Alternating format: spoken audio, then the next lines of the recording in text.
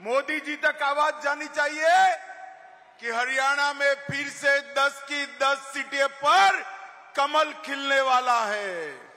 मेरे साथ दोनों हाथ उठाओ। सभी लोग पीछे तक उठाए दोनों हाथ। विजय के संकल्प की मुट्ठी बीजिए और प्रचंड आवाज़ से बोलिए, भारत माता की, भारत माता की। मंच पर उपस्थित। बोलो, जय श्री राम मंच पर उपस्थित हरियाणा के सम्माननीय मुख्यमंत्री श्रीमान मनोहर लाल खट्टर जी, हमारे प्रदेश भारतीय जनता पार्टी के अध्यक्ष और मेरे मित्र श्रीमान धनखड़ जी हमारे गृह मंत्री श्रीमान अनिल विज जी, श्री गजेंद्र शेखावत जी, त्रिपुरा के पूर्व मुख्यमंत्री और हरियाणा के प्रभारी भाई विप्लव देव जी, श्री कंवरपाल गुर्जर जी, रणजीत सिंह चौटाला जी, ओम प्रकाश श्री सुभाष बराला जी मेरे साथ दिल्ली से आए हैं। सिरसा जी खड़े हो जाइए। मजिंदर सिंह सिरसा जी जो यहाँ के हैं, दिल्ली भाजपा के बड़े नेता है, ताली बढ़ाओ सिरसा के लिए सभी लोग।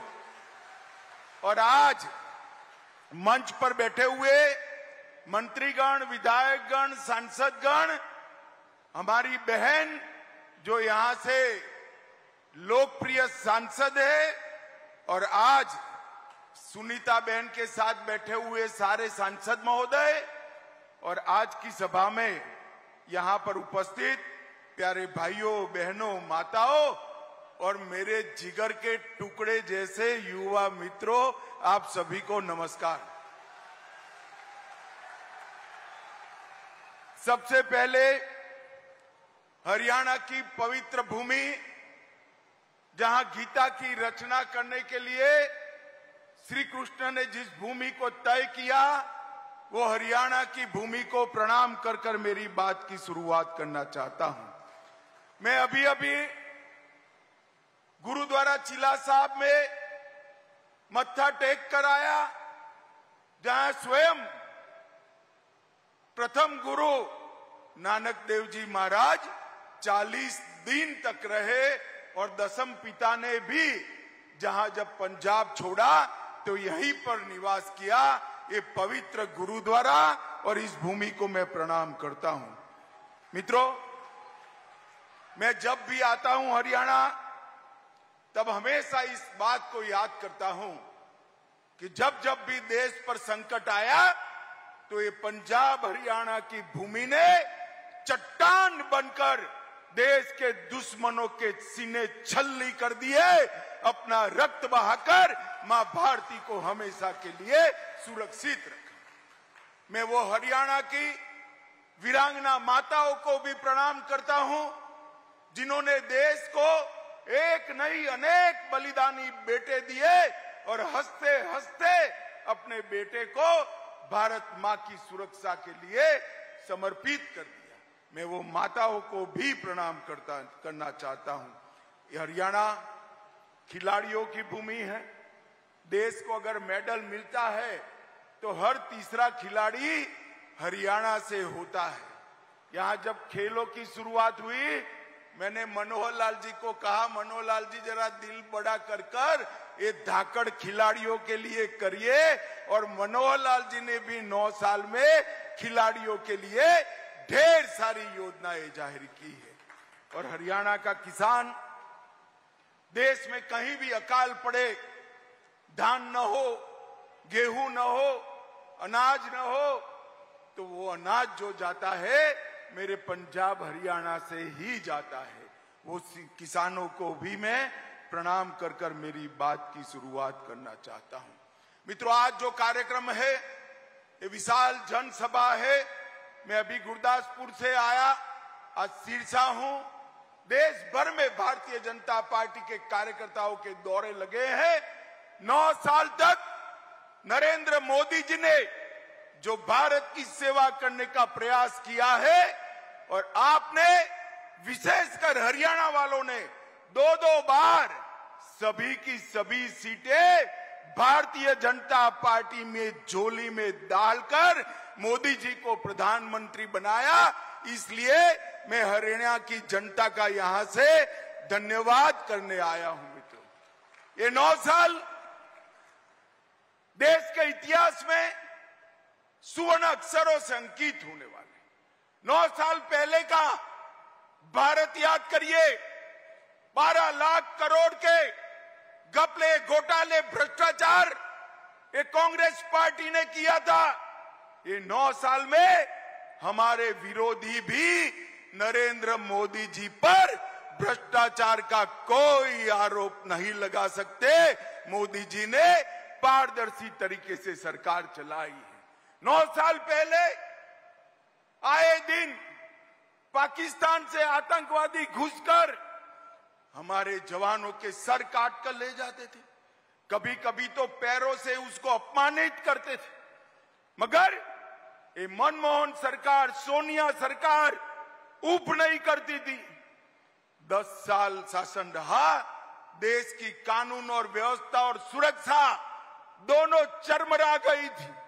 मोदी जी प्रधानमंत्री बने, पाकिस्तान को आदत जो लग गई थी, उसने फिर से प्रयास किया। उरी पर हमला किया, पुलवामा में हमला किया, मगर वो भूल गए कि इस बार मौनी बाबा मनमोहन की सरकार नहीं है, नरेंद्र मोदी की सरकार है।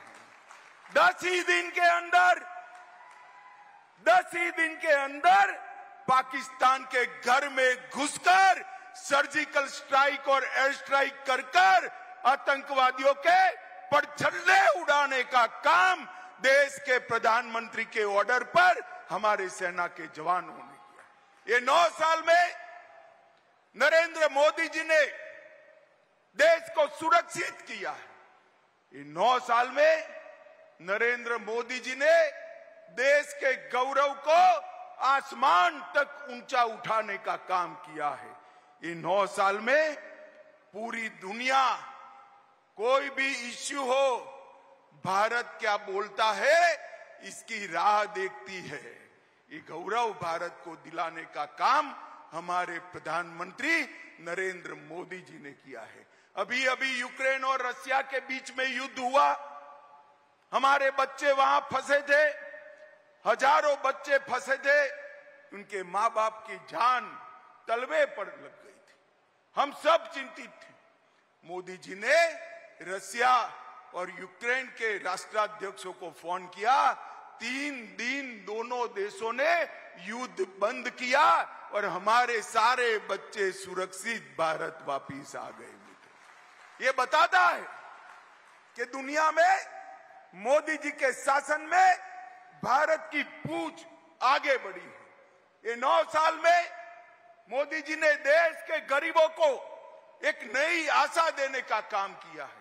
हर गरीब को घर, हर गरीब के घर में गैस, हर गरीब के घर में नल से जल, हर गरीब के पाँच लाख तक का आरोग्य का पूरी चिंता, हर गरीब को प्रति व्यक्ति, प्रति माह पाँच किलो अनाज और इसके साथ साथ गैस की सिलेंडर। और मैं आपको पूछना चाहता हूँ, हज़ारों की संख्या में आप बैठे हैं। मुझे बताइए भाई, कोविड का दोनों टीका सबका लग गया है या नहीं लग गया है? हाथ ऊपर करिए तो। लग गया है ना? पच्चीस पैसा भी देना पड़ा है। कोविड जैसी महामारी में पूरी दुनिया आश्चर्यचकित है। भारत ने 130 करोड़ लोगों को दोना, दोनों टीके लगाकर कोविड से सुरक्षित करने का काम देश के प्रधानमंत्री नरेंद्र मोदी जी ने किया है। माताओं, भाइयों, बहनों, कोविड के वक्त भी ये पॉलिटिक्स नहीं छोड़ राहुल बाबा ने कहा कि कोविड का टीका तो मोदी टीका है, मत लगाइयो। मगर किसी ने नहीं सुनी उनकी। सबने टीका लगाया, अंत में वो भी एक दिन रात को अंधेरे में टीका लगाकर आ गए। मित्रों, जो कांग्रेस पार्टी भ्रष्टाचार कर रही थी, जो देश को सुरक्षित नहीं रख पाई थी, उसने कोविड जैसी महामारी के समय भी राहुल बाबा एंड कंपनी ने पॉलिटिक्स करना नहीं छोड़ी। ये मोदी जी के नौ साल, भारत गौरव के नौ साल हैं। मोदी जी के नौ साल, गरीब कल्याण के नौ साल है। और मोदी जी के नौ साल, भारत के उत्कर्ष उत्कर्ष के नौ साल है। मित्रों, आज कोविड के बाद पूरी दुनिया मंदी के चपेटे में है। उस वक्त भारत के अंदर नरेंद्र मोदी जी की नीतियों के कारण मंदी दस्तक नहीं दे पाई है। ये हमारे लिए बहुत बड़ी बात है। मित्रों आज नरेंद्र मोदी जी के नेतृत्व में भारत आगे बढ़ा है। मोबाइल का सबसे बड़ा दूसरा उत्पादक बना, ऑटोमोबाइल का तीसरे नंबर का उत्पादक बना और स्टील का सबसे बड़ा उत्पादक बना है। अभी अभी मोदी जी जी सेवन की बैठक में गए। कोई प्रधानमंत्री उनके ऑटोग्राफ माँगता था, कोई राष्ट्राध्यक्ष इनसे अपॉइंटमेंट माँगता था और अफ्रीका गए तो किसी किसी ने तो पैर छूकर आशीर्वाद भी दिए। मित्रों, ये जो सम्मान, ये सम्मान नरेंद्र मोदी जी को मिला है, वो नरेंद्र मोदी जी का सम्मान नहीं है। ये भारतीय जनता पार्टी का सम्मान नहीं है। ये सम्मान जो नरेंद्र मोदी जी को मिल रहा है, विदेशों में मोदी मोदी मोदी मोदी मोदी के नारे लग रहे हैं। ये नारे मोदी जी के सम्मान के लिए नहीं। ये नारे सिरसा, हरियाणा और भारत के 130 करोड़ की जनता के सम्मान के नारे हैं। मोदी जी ने दुनिया में भारत को आगे बढ़ाया है। किसानों के कल्याण की बात हुडा साहब करते हैं। हुडा साहब को मैं चैलेंज देने आया हूँ सिरसा की भूमि पर। हुडा साहब, दस साल आपकी सरकार चली। कितना धान, कितना गेहूँ खरीदा हिसाब लेकर आ जाओ आप। सबसे ज़्यादा धान, सबसे ज़्यादा गेहूँ अगर किसी ने खरीदा है, सबसे ज़्यादा दाम से खरीदा है तो नरेंद्र मोदी जी ने खरीदा है, मित्रों, नरेंद्र मोदी जी ने खरीदा 2023-24 में 260 लाख मैट्रिक टन गेहूँ खरीदा और धान तीन सौ पचासी लाख मैट्रिक टन करा। सिर्फ़ इस वर्ष में ही सैतालीस हज़ार करोड़ रुपए का गेहूँ खरीदने का काम हुआ है। और अब चेक भी आपके अकाउंट में सीधा ही जमा हो जाता है भैया। बीच में कोई बिचौलिया नहीं आता है। हुडा साहब, आपकी सरकार अनेक साल रही। कभी छह हज़ार रुपया किसान को सीधा नहीं भेजा। हमारे मनोहर लाल जी ने बावान्तर योजना लाई।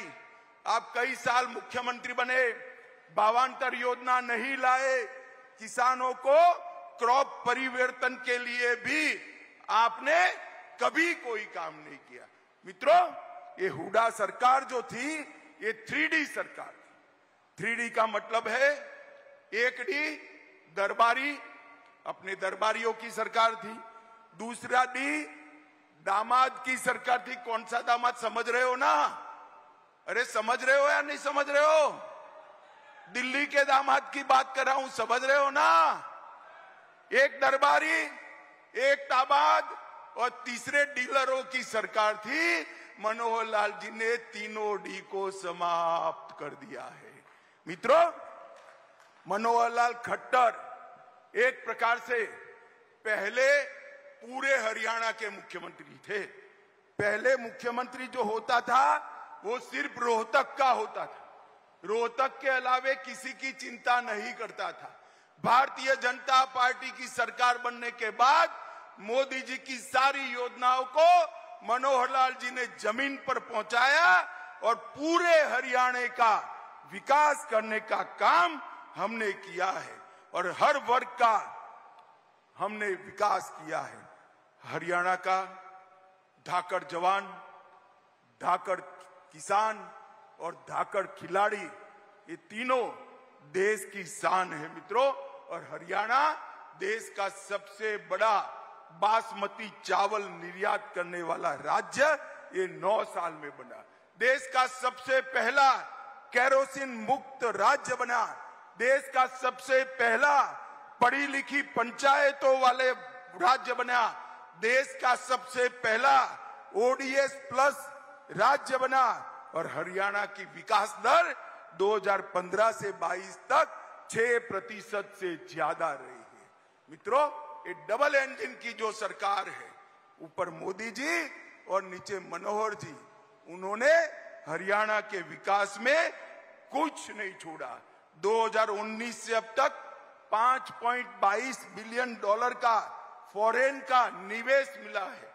400 फॉर्चून कंपनियों के कार्यालय गुरुग्राम हरियाणा में है और देश में दो गाड़ी बनती है। मेरी बात ध्यान से सुनना सिरसा वालों।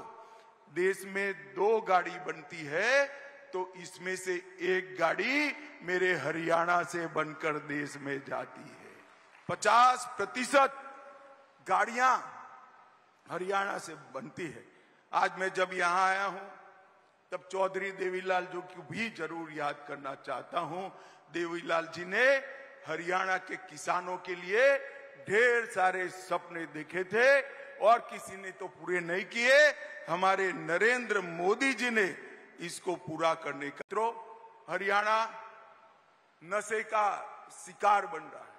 मैं आप सभी को कहना चाहता हूँ, देश का प्रधानमंत्री नरेंद्र मोदी जी इस बात से बहुत चिंतित है और उन्होंने भारत सरकार के गृह मंत्रालय के सामने एक लक्ष्य रखा है कि कुछ ही समय में भारत नशा मुक्त होना चाहिए और ये अभियान हरियाणा में चालू हो गया है। मित्रों, सिरसा में भी ये नौ साल में बहुत कुछ हुआ है। 1513 करोड़ रुपए का किसानों को बीमा का क्लेम दिया है। हमने राष्ट्रपति द्रौपदी मुर्मू ने 22 एकड़ भूमि पर 1000 करोड़ के साथ मेडिकल कॉलेज की आधारशिला रखी। सिरसा फतेहा, फतेहाबाद मार्ग का निर्माण चल रहा है। कई नए पुल बन रहे हैं। सिरसा के तेजा खेड़ा आशा खेड़ा और चौटाला की ज़मीन पर मेगा फ़ूड पार्क बन रहे हैं। सिरसा में एक नए जल उपचार संयंत्र का निर्माण हुआ है और सौर ऊर्जा केंद्र भी गुजरात में बन रहे सिरसा में बन रहे हैं। मित्रों, एक कॉन्स्टिट्युएंसी में इतना सारा विकास कभी पर नहीं हुआ। सुनीता दुग्गल, हमेशा भारत सरकार के मंत्रियों के पास आपके सवालों को लेकर झगड़ा भी कर लेती है और गिड़गिड़ा भी लेती है। एक ताली सुनीता बहन के लिए बजा दीजिए सभी लोग। मित्रों ये हुडा जी हमेशा कांग्रेस की बात करते हैं। मैं हुडा जी को पूछने आया हूँ, हुडा महाराज, हिसाब लेकर हरियाणा की जनता को दो कि आपके शासन में, कांग्रेस के शासन में ऊपर नीचे दोनों आपकी सरकारें थी, आपने हरियाणा को क्या दिया?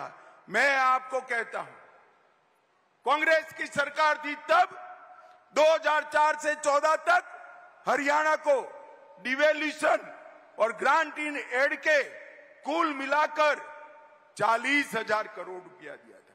कितना दिया था भाई? जरा बोलो तो। चालीस हज़ार करोड़। और नरेंद्र मोदी जी ने चालीस हज़ार करोड़ से बढ़ाकर एक लाख तीस हज़ार करोड़ रुपया देने का काम किया है। एक लाख तीस हज़ार करोड़ रुपया। और वो हमारा हिसाब मांगते हैं।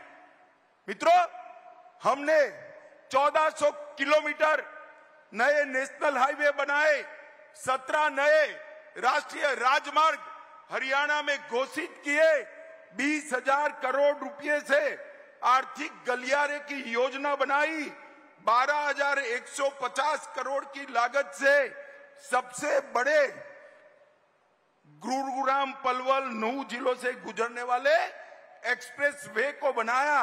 चार हज़ार करोड़ की लागत से कुंडली मानेसर पलवल एक्सप्रेसवे का उद्घाटन हो चुका है और इसके साथ साथ ग्यारह हज़ार करोड़ की लागत से खरखोदा में दस लाख वाहन की प्रति साल क्षमता रखने वाली मारुति का विस्तारीकरण कार्यक्रम हुआ। कई सारी संस्थाएँ दी। कैंसर, राष्ट्रीय कैंसर इंस्टीट्यूट 710 बेड सौ एकड़ भूमि पर श्री कृष्ण आयुष विश्वविद्यालय भारतीय सूचना प्रौद्योगिकी संस्थान सोनेपत एनआईडी हरियाणा ढेर सारी संस्थाएँ दी और मित्रों 20 लाख किसानों को हर साल 6000 रुपया मिल रहा है जल जीवन मिशन 30 लाख लोगों के घर में नल से जल पहुँचा है आयुष्मान भारत के लाभार्थी बयासी लाख है साढ़े सात लाख शौचालय बन चुके हैं। एक पॉइंट तीस, तीन तीस, एक करोड़ तीस लाख लोगों को फ्री ऑफ़ कॉस्ट प्रति व्यक्ति पाँच किलो अनाज मिल रहा है। प्रधानमंत्री आवास योजना के टोटल पचहत्तर हज़ार से ज़्यादा घर बने हैं और ढेर सारे काम किए हैं। अंत में मैं एक ही बात कहना चाहता हूँ सिरसा वालों आप मुझे बताओ, ये कश्मीर जो है, वो हमारा है या नहीं? ज़ोर से बोलो भाई। कश्मीर हमारा है या नहीं है? धारा 370 हटनी चाहिए थी या नहीं हटनी चाहिए थी? अब तक किसी ने काम नहीं किया। मोदी जी को आपने 10 की 10 सीटें दे दी, फिर से प्रधानमंत्री बने। 5 मई 2019 को एक ही झटके से धारा 370 को मोदी जी ने समाप्त कर कर हमेशा के लिए कश्मीर को हमारा कर दिया। और ये कांग्रेस वाले कहते थे, मत करिए मत करिए। मैंने पूछा, राहुल बाबा को क्यों न करे? तो कह, कश्मीर में खून की नदियाँ बह जाएगी। राहुल बाबा, खून की नदी छोड़ो, किसी की कंकर चलाने की भी हिम्मत नहीं हुई है, ये नरेंद्र मोदी सरकार। माताओं, भाइयों, बहनों हरियाणा के आशीर्वाद से आपने दो दो बार मोदी जी को प्रधानमंत्री बनाया है। 2024 में भारतीय जनता पार्टी के कार्यकर्ता आपके पास आएँगे, हाथ जोड़कर आपका आशीर्वाद मांगेंगे। मैं भी आज हरियाणा की जनता को अपील कर कर जाता हूँ कि फिर से एक बार 10 की 10 सीटें मोदी जी की झोली में डालिए और देश को दुनिया में नंबर एक बनाने के लिए 2024 में मोदी जी को प्रधानमंत्री बनाइए।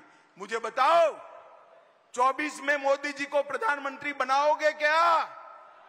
अरे ज़ोर से बोलो, बनाओगे? भाजपा सरकार बनाओगे? 300 से ज़्यादा सीटों के साथ बनाओगे? तो मेरे साथ दोनों हाथ उठाइए। उठाइए दोनों हाथ। मुट्ठी पीछे और प्रचंड आवाज़ से बोलिए भारत माता की। भारत माता की। वंदे। वंदे। वंदे। आप सभी का बहुत बहुत धन्यवाद, नमस्कार।